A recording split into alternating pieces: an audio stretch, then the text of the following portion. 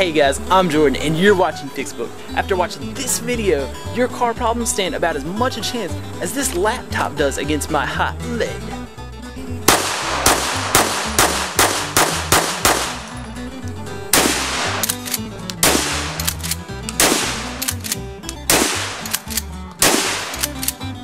Now, make sure you stay tuned so you can see what happened to the laptop at the end of this video. And as always, don't forget to subscribe, like, and leave a comment down below. So today, I'm going to show you how to remove that that old plastic console piece, your center console piece, in an old Civic like this. So we're pulling the console out, and there's a little trick here. the little trick holds the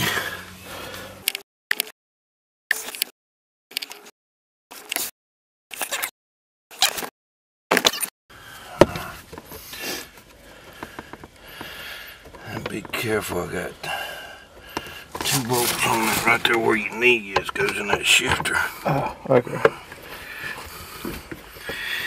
And you got to have him. Once you get those two screws out, this piece just pulls right off. And then you're gonna have lots of interesting junk sitting right there. Money, money, money.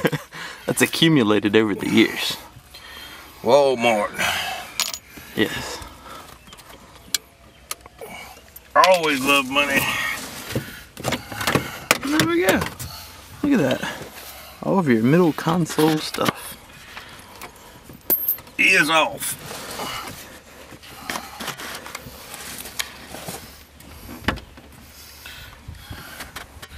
So that's good. Okay. Today we have learned something about the previous owner of this vehicle. His name was Ike, and he worked at Burger King.